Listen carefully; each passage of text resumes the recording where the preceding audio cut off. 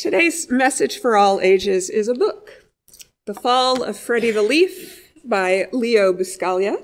Some of you might recognize that name from days of yore. This is one of my favorite stories. Spring had passed, so had summer. Freddie the Leaf had grown large his, midsection was wide and strong, and his five extensions were firm and pointed. He had first appeared in spring as a small sprout on a rather large branch near the top of a tall tree. Freddie was surrounded by hundreds of other leaves just like himself, or so it seemed.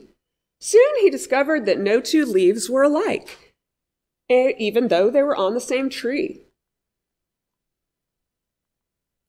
Alfred was the leaf next to him. Ben was the leaf on his right side, and Claire was the lovely leaf overhead. They had all grown up together. They had learned to dance in the spring breezes, bask lazily in the summer sun, and wash off in the cooling rains. But it was Daniel who was Freddie's best friend. He was the largest leaf on the limb and seemed to have been there before anyone else. It seemed to Freddie that Daniel was the wisest of them. It was Daniel who told them they were part of a tree. It was Daniel who explained they were growing in a public park. It was Daniel who told them the tree had strong roots hidden in the ground below. He explained about the birds who came to sit on their branch and sing morning songs. He explained about the sun, the moon, the stars, and the seasons. Freddie loved being a leaf. He loved his branch, his light leafy friends, his place high in the sky, the wind that jostled him about, the sun rays that warmed him, the moon that covered him with soft silver shadows. Summer had been especially nice. The long hot days felt good, and the warm nights were peaceful and dreamy.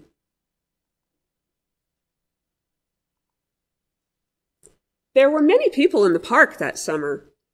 They often came and sat under Freddie's tree. Daniel told him that giving shade was part of their purpose. What's a purpose? Freddie asked. A reason for being, Daniel had answered. To make things more pleasant for others is a reason to be, for being. To make shade for old people who come to escape the heat of their homes is a reason for being. To fan with our leaves the picnickers who come to eat on checkered tablecloths. These are all reasons for being.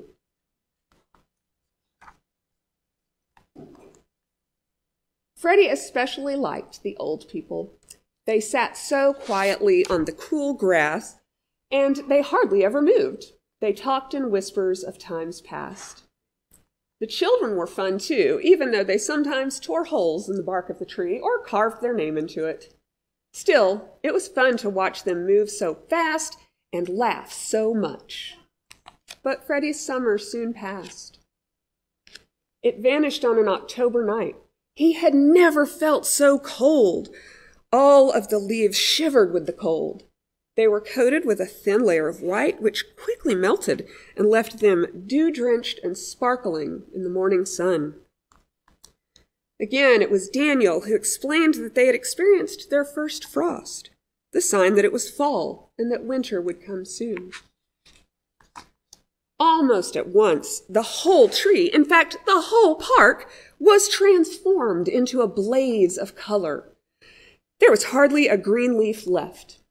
Alfred had turned a deep yellow. Ben became a bright orange. Claire had become blazing red. Daniel a deep maroon. And Freddie was red and gold and green. How beautiful they all looked! Freddie and his friends made their tree a rainbow. Why did we all turn different colors? Freddie asked, when we're on the same tree. Each of us is different. We've had different experiences. We have faced the sun differently. We've cast shade differently. Why should we not have different colors? Daniel said matter of factly. Daniel told Freddie that this wonderful season was called fall. One day, a very strange thing happened. The same breezes that in the past had made them dance began to push and pull at their stems, almost as if they were angry. This caused some of the leaves to be torn up from their branches and swept up in the wind, tossed about and dropped to the ground. All the leaves became frightened. What's happening? They asked each other in whispers. It's what happens in fall, Daniel told them. It's time for leaves to change their home. Some people call it to die. Will we all die? Freddie asked. Yes, Daniel answered. Everything dies, no matter how big or small, no matter how weak or strong. We first do our job. We experience the sun and the moon, the wind and the rain. We learn to dance and to laugh, and then we die. I won't die, said Freddie with determination. Will you, Daniel? Yes, answered Daniel, when it's my time. When is that? asked Freddie. No one knows for sure, Daniel responded. Freddie noticed that the other leaves continued to fall. Oops. He thought it must be their time. He saw that some of the leaves lashed back at the wind, before they fell, while others simply let go and dropped quietly. Soon the tree was almost bare. I'm afraid to die, Freddie said to Daniel. I don't know what's down there. We all fear what we don't know, Freddie, said Daniel. It's natural. But you were not afraid when spring became summer. You were not afraid when summer became fall. These were natural changes. Why should you be afraid of the season of death? Does the tree die too? Freddie asked. Yes, someday, said Daniel. But there is something stronger than the tree. It is life. Life lasts forever, and we are all part of life. Where will we go when we die? No one knows for sure. That's the great mystery. Will we return in the spring? We may not, but life will. Then what has been the reason for all of this? Freddie continued to question. Why are we here at all if we only have to fall and die? Daniel answered in his matter of fact way It's been about the sun and the moon. It's been about happy times together. It's been about the shade and the old people and the children and the birds. It's been about colors in the fall. It's been about seasons. Isn't that enough?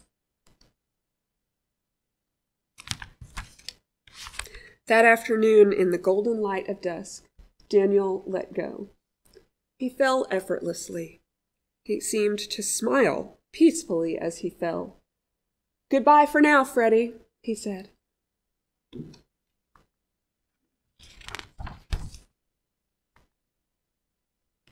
Then Freddie was alone, the only leaf left on his branch.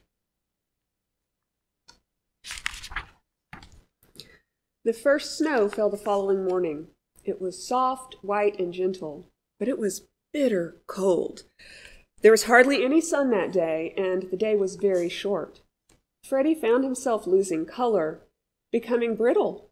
It was constantly cold, and the snow weighed heavily on him. At dawn, the breeze came that took Freddie from his branch. It didn't hurt at all. He felt himself float quietly and gently and softly downward. As he fell, he saw the whole tree for the first time.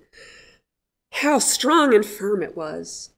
He was sure that it would live for a long time, and he knew he had been a part of its life, and it made him proud.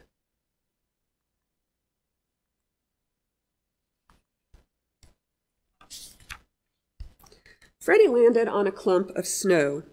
It somehow felt soft and even warm. In this new position, he was more comfortable than he'd been in a long time. It seemed to him he closed his eyes and fell asleep. He did not know that spring would follow winter and that the snow would melt into water. He did not know that what appeared to be his useless and dried self would join with the water and serve to make the tree stronger. Most of all, he did not know that there, deep asleep in the tree and the ground, were already plans for the new leaves in the spring.